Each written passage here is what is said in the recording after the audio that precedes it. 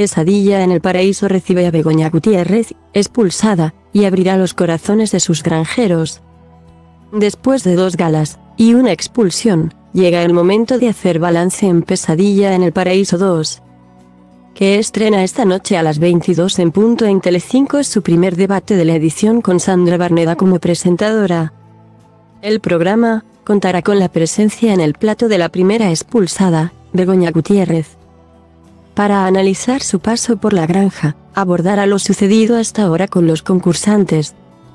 Con especial atención al aislamiento de Maite Galdeano y Kiko Jiménez y a un reciente asalto a la habitación del capataz por parte de varios granjeros acción que podría acarrear una nueva sanción. Además, Antonio, el guardés, les visitará para explicarles en qué consiste la nueva tarea semanal, de cuyo desempeño dependerá si logran beneficios que les permitan mejorar sus condiciones de vida.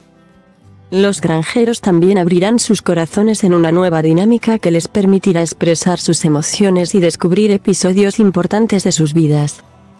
El programa contará con las valoraciones de Belén Rodríguez, Beatriz Trapote, Marta Peñate, Maestro Joao y Alberts Barranco, los participantes de la primera edición Daniela Requena, Pipi Estrada Israel Arroyo y defensores de algunos concursantes.